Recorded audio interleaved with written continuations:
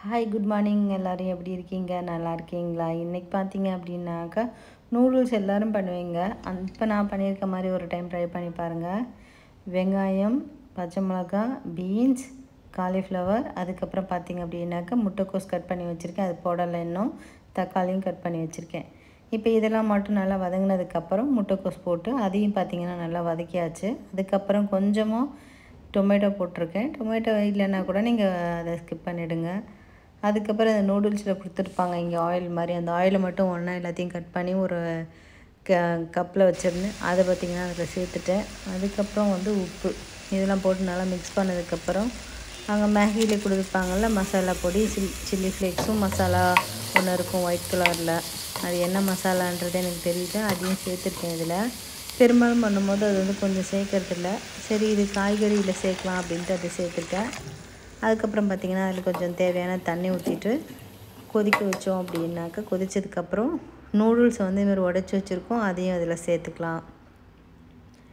அதுக்கப்புறம் பார்த்திங்கன்னா ஒரு லெட்டு போட்டு மூடிட்டிங்க ஒரு பத்து நிமிஷம் அப்படின்னாக்கா அவ்வளோ அழகாக வந்து நல்லா பாயில் ஆகி வந்துடும் அதுக்கப்புறம் சிக்கன் மசாலா வந்து ஒரு அரை ஸ்பூன் கால் டீஸ்பூன் வந்து கரம் மசாலா போட்டு மிக்ஸ் பண்ணிவிட்டு அதுக்கப்புறம் மறுபடியும் ஒரு டைம் மூடி வச்சிட்டிங்க அப்படின்னாக்கா பிரியாணி மாதிரி இருக்குது இந்த நூடுல்ஸ்.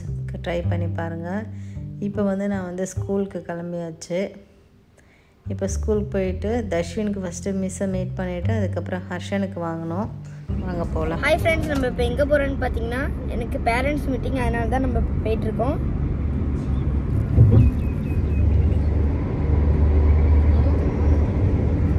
இப்போ நம்ம போகலாம் வாங்க. அம்மா தான் என்னை இப்போ கொண்டு போயிட்டுருக்காங்க பேரண்ட்ஸ் மீட்டிங்க்கு அப்பாவும் இருக்காங்க.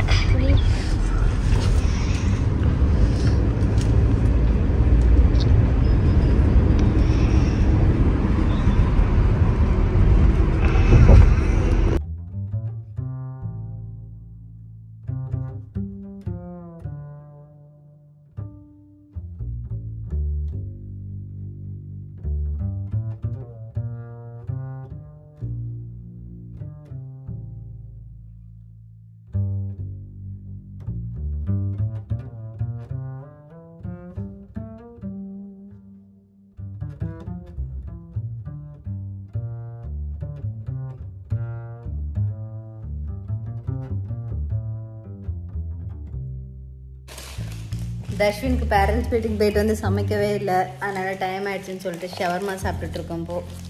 இந்த வீடியோ இதோட முடிச்சுக்கிறேன்.